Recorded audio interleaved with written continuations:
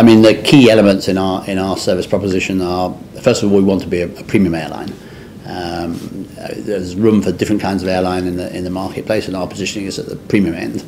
And the the sort of key focus for our customer service that differentiates it from other people is what we call service straight from the heart. So, I mean, there are many common elements in, in, in airlines and airline service, but the service straight from the heart is what we believe differentiates us from, from, from other airlines. And we build all our customer service around that, that component. The important point here is that, is that customers feel that the company cares about them, they're valued as individuals. Uh, and that's very important. So you can go through a robotic kind of service um, where you just you follow the manual, you do what you've been trained. But people can tell the difference between that and where the person actually cares about you, will go the extra mile if they possibly can, and even if they can't do something the customer wants, they, they, they you know that they would have done if they possibly could. I think it's very important for customers to feel that the, the staff are on, are on their side, if you like, trying to help the customer. And so this is a very important part for, for basically we ask our customers. Um, I mean, we have a we have a we have a formal process of, of uh, reviewing uh, customer satisfaction survey on, on every flight. We, we survey every flight, and, and the customers are, are pre-chosen uh, by computers, so we don't just choose the people who look happy. Uh, we, uh, if you're in 14D and, and the computer says it should be 14D today, then that's the seat that we, we survey. So we get a good a good feedback from our customers on through the survey. We obviously get a lot of input from customers through uh, direct direct communication. People write to the company and say we had a fantastic experience or we had a very disappointing experience, whatever that is, and we take that that uh, feedback very importantly.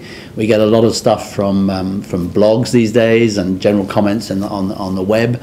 Um, we get a lot of stuff from customer service, uh, customer uh, surveys done by magazines and the media and so on. And we also survey our own staff to say to see whether the customers they think the customers are happy with what they're doing.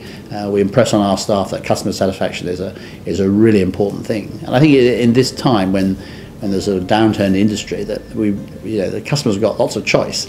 Uh, it's really important that, they're, that they're, they feel they're getting value for money and they're happy with the product and service we're offering. So it's a sort of multi multidiscipline approach input into their into into their evaluation yes. I mean if we i mean lots of compliments is a good thing. Uh, lots of criticism is a is a is a bad thing.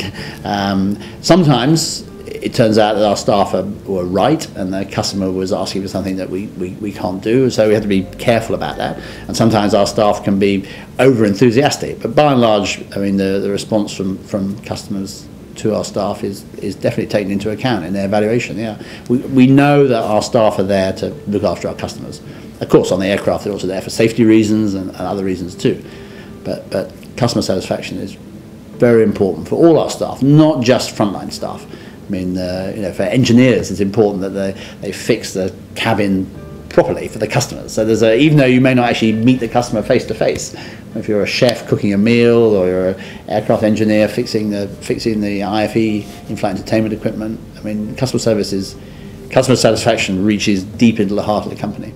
I think great customer satisfaction is a feeling that you're being treated as a as an individual, you're valued, uh, the service is personalised to you as much as it possibly can be and that and that people are responsive. So when you provide input about something, they they, they, they, they, they listen to that and they do something they do something different. So it's about the personalisation and the responsiveness and the feeling that you're valued as a, as a customer.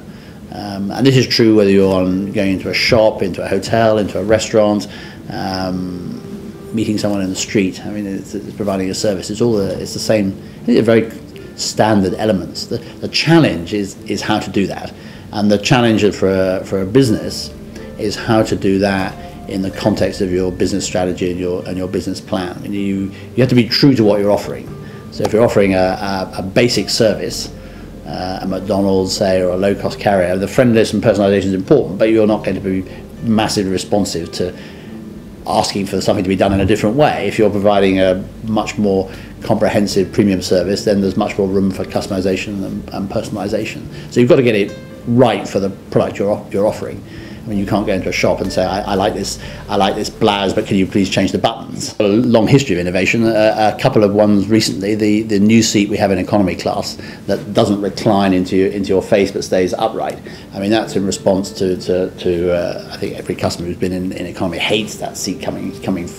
Towards them and, and that's been a that's innovative we're the first airline to put it on, on our on our aircraft and we're very we're very proud of that I think our first class cabins are very are very innovative um, business as well. In fact, all our new seats on aircraft very, very, very innovative.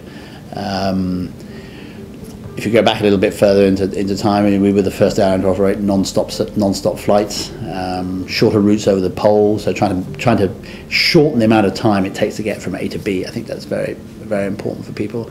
Our uh, our lounge here at Cox very innovative, um, award-winning design, different style to many other airlines. So yeah, long history. A lot of um, a lot of promotions with uh, with restaurants and famous chefs to produce uh, innovative meals and, uh, and and new things like that. I mean, you go back in time again. We were the first airline to put pot noodles on the aircraft. They're massively popular. It's been copied by many airlines around the world. Um, so yeah.